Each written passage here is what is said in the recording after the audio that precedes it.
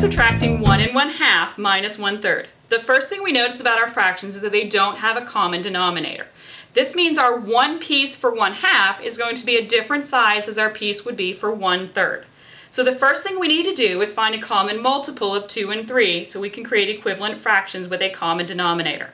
Multiples of 2 include 2, 4, 6, 8, 10, and so on. Multiples of 3 include 3, 6, 9, 12, 15, and so on. The first one they have in common is 6, so we're going to use this as our common denominator. To get from 1 half to 6, I multiply my denominator of 2 by 3 to give me 6. Since I multiplied my denominator by 3, I need to multiply my numerator by 3 as well. 1 times 3 gives me 3, so 1 and a half is equivalent to 1 and 3 sixths. I then need to do the same thing with 1 third. To get from 3 to 6, I need to multiply by 2.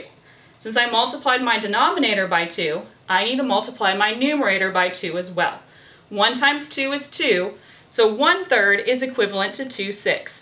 This means I have 1 and 3 sixths minus 2 sixths, so I can simply take away two pieces, which leaves us with the final difference of 1 and 1 sixth.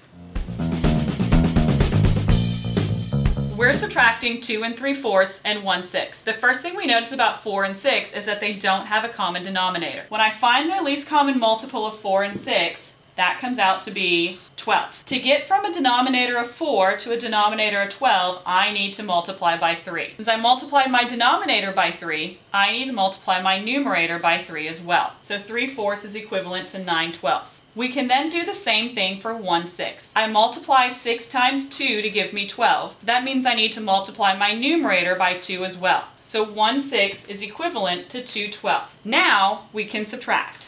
We know the denominator in our solution is going to be 12. I can now subtract my numerators. 9 minus 2 gives me 7, and on my whole numbers, 2 take away nothing leaves me with 2. This means my final solution comes out to be 2 and 7 twelfths.